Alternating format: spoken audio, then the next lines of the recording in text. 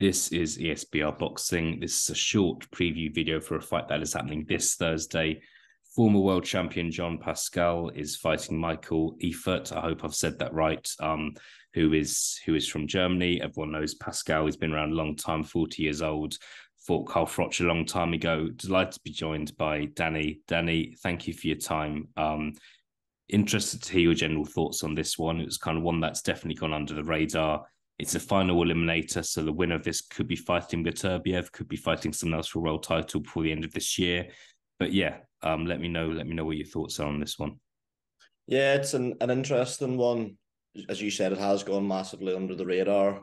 Jean Pascal, I think there was talk of that Buatsi fight last year, then the whole sort of scandal with VADA testing and whatever, which has come back to look quite funny given some current events. But he's sort of, in a sense, been a bit of a forgotten man in that light heavyweight division, despite, you know, I know a lot of them were it's weird because he's had his last three fights, there've been some good wins, but a couple of them are like three, four years ago. Um Badou Jack win looks even better now, given Badou Jack's last fight, winning the cruiserweight title against Makabu. Fanlong Meng was a decent one as well. That was only last year. So you'd imagine he's got a bit left in the tank. And um, as we sort of touched on off the call, it's been billed as a final eliminator for Beterbiev, which is like the only sort of name he's not fought at light heavyweight. So no, I'm interested to watch it. To be fair, um, in terms of Michael, you've gone Eifert, I'll go Eifert. So just between us, we've got it right. Eleven and one, not you know no real recognizable names in his resume. The only defeat when I was looking through BoxRec was the fellow called Adam Zensky he went on to avenge that. And that Dazinski's fighting for the, the European title next month. So obviously got some level of ability, but you would imagine uh, if Jean Pascal is anything like even the version that beat Meng or Mang last year, he should have more than enough to deal with him in pretty comfortable fashion. Yeah, we'll see. Like we're not going to pretend to be Michael Eifert experts on this channel by, by by any means. I think from a snapshot, I've, I've seen out of the eleven wins, only four KOs, so you wouldn't think he was a massive puncher. Um, I've kind of noticed if you look at some of his wins, some a lot, a couple of them are actually um, being close points decisions. So it could be the case his record could look a bit different to how it does now. However, that is his record. Last fight was against a guy who was 14 and one. Again, that was a kind of a close points win. Um, so I think it's clear kind of who the heavy who the who, who the heavy favorite is. Eifert's only 25, so there's a big big age gap around 15 years there. Um, Pascal, this is his 43rd, 44th fight, turns 41 um, at the at the end of this year, made his debut in 2005. Do you think, do you still class him as like a top 10 light heavyweight, top five? Where do you think he's where do you think he's at now? I think you have to have him at least the top 10.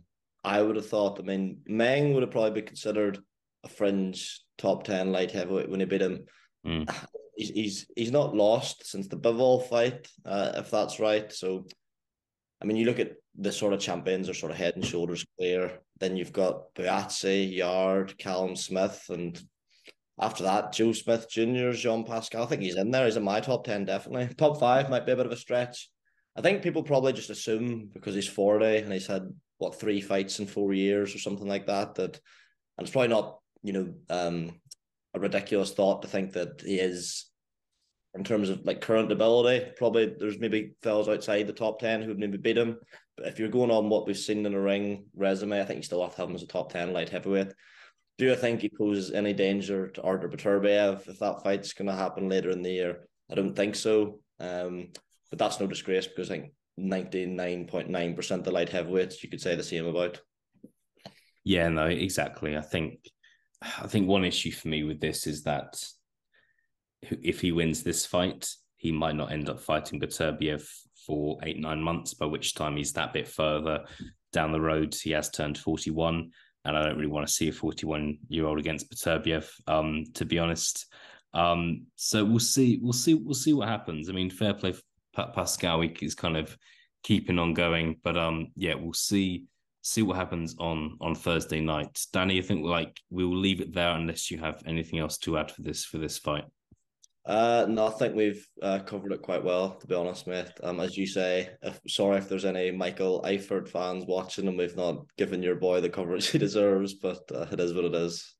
Yeah, absolutely. Um, cool. Catch up, kind of, kind of post post fight, but yeah, it is set this Thursday. Jean Pascal, Michael Eifert in an IBF final eliminator. So the winner could be fighting Beterbiev, could be fighting someone else for a world title, maybe b- before the end of the year. Danny, thank you for joining me, and I'll catch up with you soon. Okay.